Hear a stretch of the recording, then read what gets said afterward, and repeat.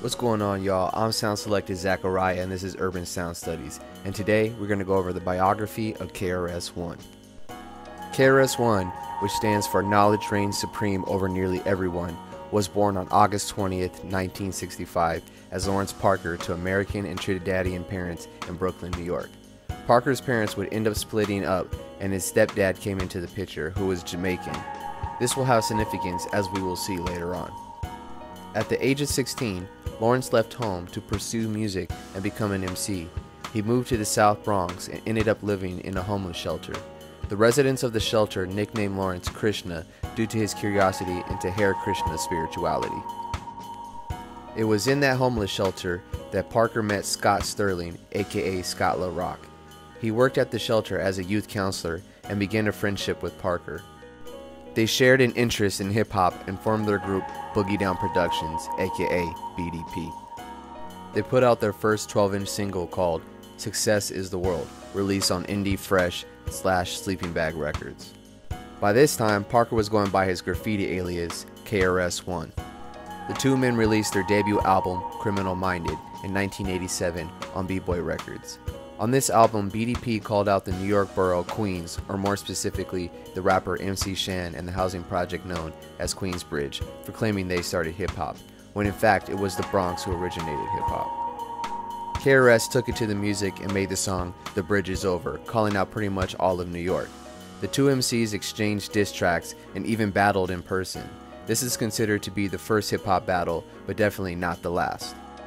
Also, KRS is known for being the first MC to bridge the gap between Jamaican music and American hip hop, using the Zunguzung melody originally made famous by Yellowman in his dancehall music a decade earlier. The label, B-Boy Records, ended up being sued by BDP for royalty payment issues. The next year, Scott La Rock was killed in a street dispute between bandmate D-Nice and a street gang. Scott came to help mediate the situation, but was shot by a member of the gang and was pronounced dead. In 1988-89, KRS-One, in response to violence in the black and hip-hop community, started the Stop the Violence movement. The movement was made up of some of the top hip-hop stars at the time. They recorded a song called Self-Destruction that was a huge success.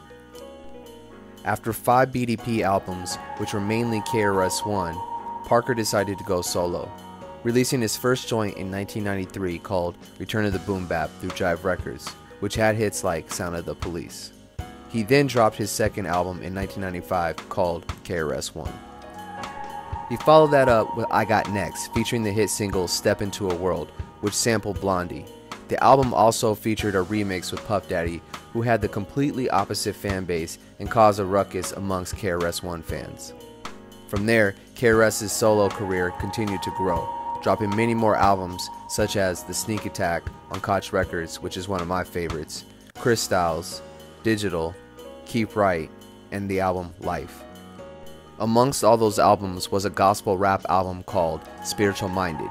KRS One pushed that concept and started the Temple of Hip Hop, a hip hop religion. KRS was even named vice president of A&R at Reprise Records from 1999 to 2001. For history's sake, I have to bring up the short-lived beef between KRS-One and Nelly. This was over the idea of underground hip-hop versus the mainstream. Both artists dropped diss tracks and kept it moving after short success with that. In 2007, KRS-One even did an album with one-time hip-hop enemy Marley Marl called Hip Hop Lives, which also was a jab at Nas's album called Hip Hop Is Dead. To follow that up, KRS-One and Buckshot collaborated on an album in 2009 called Survival Skills, which got amazing praise for being a perfect album. From the beats to the rhymes, not a weak point found on the whole album. KRS can also be seen in many movies from entertainment to educational, such as Who's the Man, Rhyme and Reason, and Luke Cage. But rapper and actor ain't just it. KRS-One also wrote four books as well. On a side note, KRS-One is also known by the names The Teacher, The Blastmaster, and Big Joe Krash. But the hits don't stop there. KRS continued to stay relevant, dropping albums till present. He recently, in 2022, released I'm Am Crew 12, another banger of an album proving that KRS is the real deal, even deep into his career. So as you see, KRS-One deserves to go down in the Hip Hop Hall of Fame. This has been your Urban Sound Studies, and I'm your boy Sound Selecta Zachariah. You're